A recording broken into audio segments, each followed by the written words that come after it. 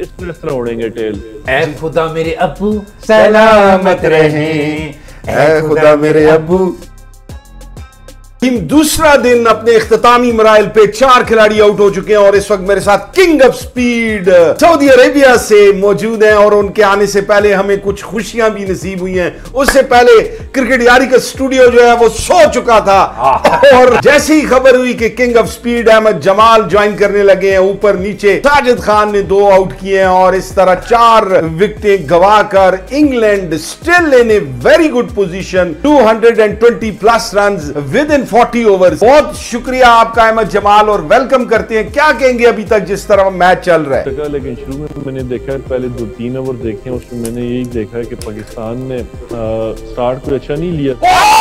अहमद एक और Ahmed Harry Brook को बोल्ड कर दिया है साजिद खान ने। स्टंप गिरा हुआ ये बॉल जाके टकराया। लेग टर्म से इससे आप अंदाज़ा कर सकते हैं कि टर्म कितना मिल रहा है। जो शुरू में स्टार्ट थोड़ा सही नहीं लिया था स्टेट पे आके उन्होंने फील्डिंग खोल दी थी उसमें मिड ओवर में पर ही बॉल सिंगल लिया तो मिडान पीछे था।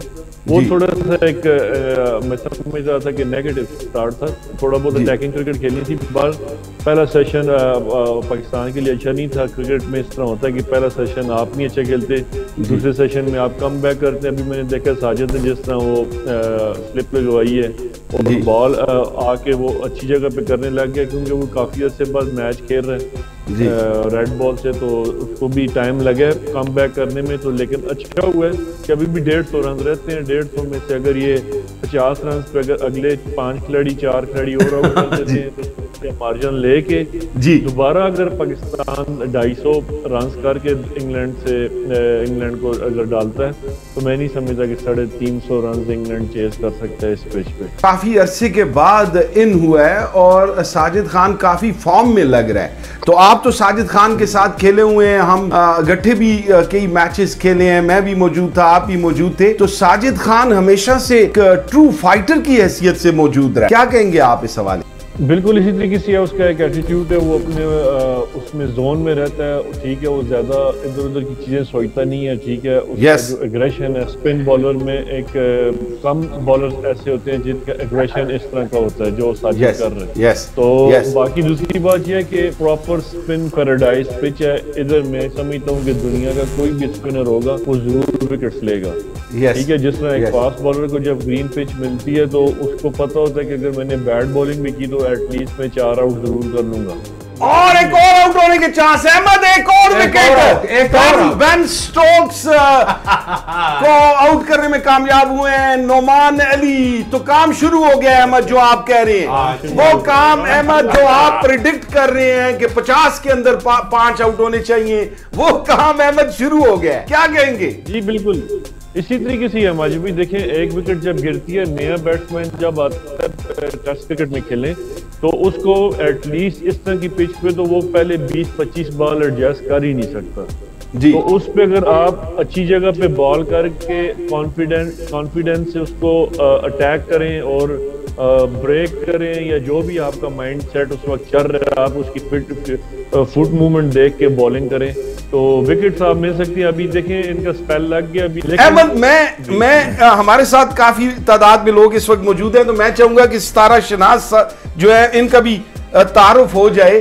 तो ए खुदा मेरे अबू जो आपके सितारे हैं उनसे हमें जरा पूछ के बताएँ कि चार विकेट्स आउट होंगे या नहीं। अहमद प्लीज़ एंजॉय कीजिए। नहीं अभी आपको पता कर जी, जी जी बिल्कुल अभी हमारे सितारा शनास हाँ। इसमें इस तरह उड़ेंगे टेल ऐ खुदा मेरे अब्बू सलामत रहें।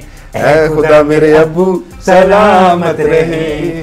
मेरे अबू ने ली एक बीमा पॉलिसी। लाके अम्मी को दी एक बीमा पॉलिसी।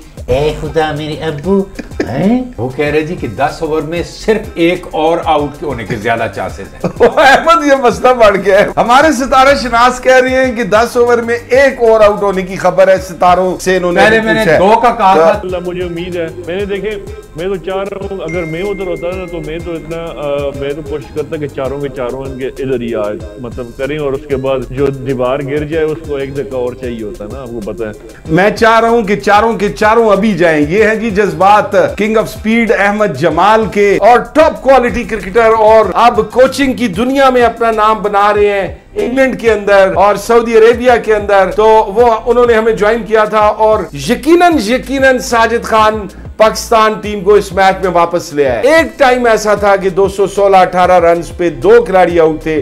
और एक वक्त ऐसा है कि अब छह खिलाड़ी आउट हो चुके हैं 238 रन पे, दो रन तो बहुत अच्छी पोजीशन में पाकिस्तान टीम आ चुकी है। उम्मीद करते हैं कि इंशाल्लाह कल का दिन भी शानदार जाएगा। इसमें चार विकेट साजिद खान ने और दो विकेट नोमान अली ने हासिल की। छियासी रन दिए उन्नीस ओवरों में साजिद खान ने और चार विकेट हासिल किए। एक शानदार मैराथन एफर्ट पाकिस्तानी स्पिनर्स की तरफ़ से हम उम्मीद करते हैं कि पाकिस्तान क्रिकेट टीम शान मसूद की क्यादत में पाकिस्तान कौम के लिए खुशियाँ लेके आएगी। आप तमाम दोस्तों का बहुत शुक्रिया। लाइक कीजिएगा शेयर कीजिएगा कमेंट कीजिएगा ताकि ये दोस्ती का सिलसिला जारी रहे। अल्लाह हाफिज।